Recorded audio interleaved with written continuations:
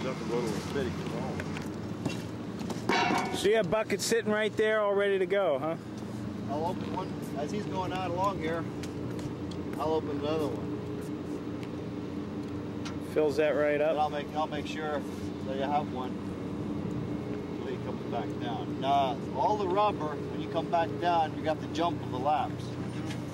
I don't know, we never jump lapped this one yet. Oh, is that right? I don't think so. I've been working with the guys yesterday. I How long of a run we got here? 300 feet? 150 feet per roll. We have 360 feet. 360 feet. Boy, is that nice. Five gallon bucket.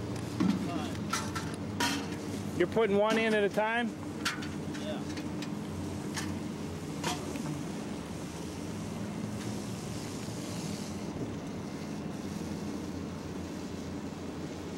These guys are just doing touch up.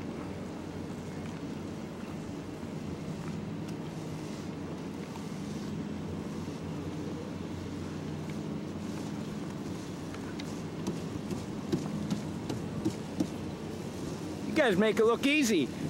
Oh man, this machine is easy. this machine is a big difference. This makes a difference in your production. Oh yeah, I used to have a have a guy on on one end and one guy relieve when we get to one end. He, the other guy take over anymore because these are such long runs and Yeah. and the other machine, you it's like you're carrying the weights of the glue. Oh, okay.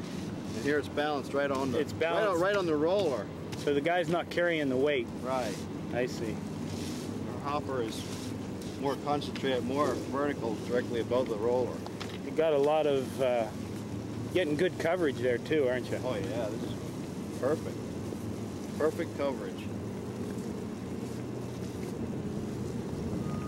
Easy cleanup on this too, I'm told. Peel that right out. Yeah, the uh, Oh, yeah, they did that. They grabbed it all and tried it out. Peeled it right out. Real nice. oh, is that right? They peeled it out yesterday to clean it up. Tried it out, yeah. Oh, that's good. Cause that that kind of wanted me for the end to open. Then you know exactly what you have too. Right. Now you can tilt that.